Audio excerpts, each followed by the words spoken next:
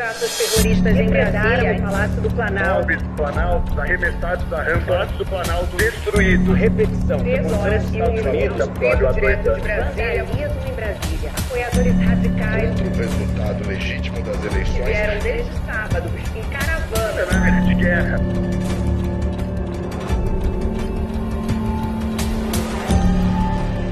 Todas essas pessoas que fizeram isso serão encontradas e serão punidas. Aqui ninguém nunca mais ouse, com a bandeira nacional nas costas, se fingirem de nacionalistas, façam o que eles fizeram hoje.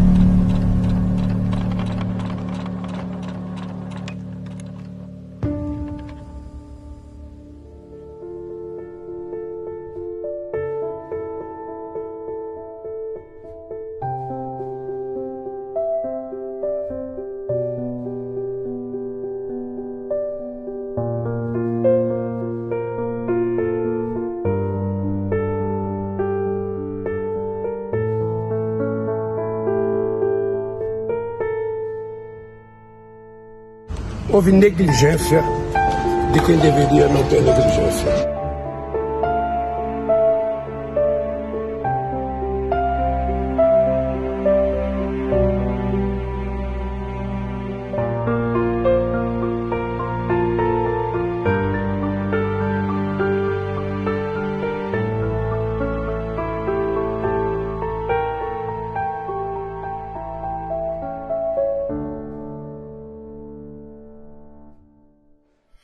Gente vai trazer uma equipe de aproximadamente 50 peritos para cá, papiloscopistas, tem delegados aqui também.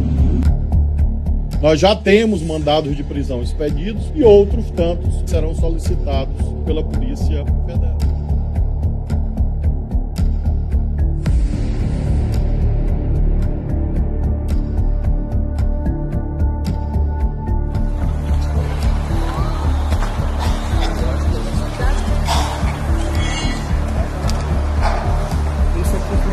Horrível, uma coisa que eu nunca vi minha vida inteira. Tenho o quê? 20 anos eu aqui, eu nunca vi um negócio desse. Muito triste. Então isso dói demais pra gente.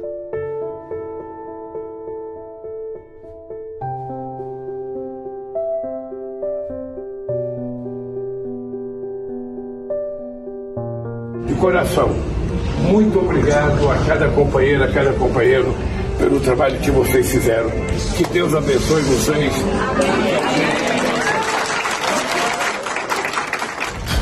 Nós não vamos permitir que a democracia escape das nossas mãos. Foi feita a intervenção e começamos a colocar ordem na casa. Tem quase 1.500 pessoas presas.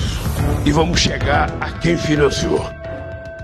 Essas pessoas foram detidas. A gente observou que eles estavam algemados dentro de cerca de 1.500 pessoas. Teve a prisão determinada pelo STF. As instituições irão todos os responsáveis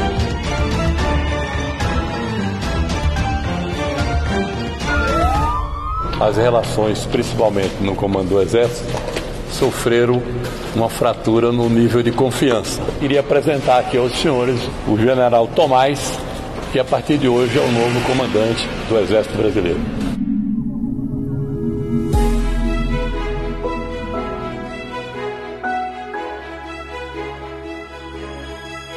A sociedade brasileira ela está precisando de um pouco de paz.